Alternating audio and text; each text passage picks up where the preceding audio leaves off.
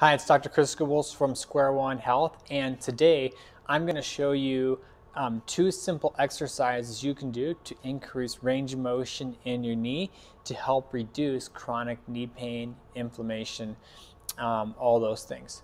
So these are called CARs, known as controlled articular rotations. And it's really important that you put full range of motion throughout all your joints every single day. And so today I'm going to show you how to do these CARs through your knee and then also through your patella. So to get range of motion in your knee, we want to get motion between your tibia, your fibula, and your femur. And what I'm going to do is I'm going to hold my knee just underneath uh, back, back, the back of my leg, and I'm going to be taking my leg, I'm going to rotate it externally. So my tibia is rotating externally.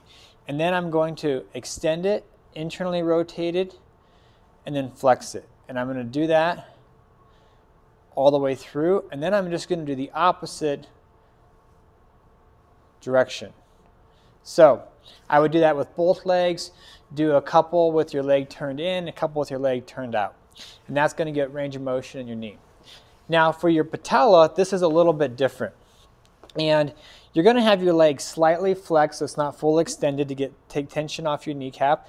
And what I'm going to be doing is I'm going to be moving my kneecap in a little square. So I'm going to push over, down, medial, superior, lateral, and then I'm going to go the opposite And I just moved that in little squares to the right and then back to the left, and I would do each of those two times.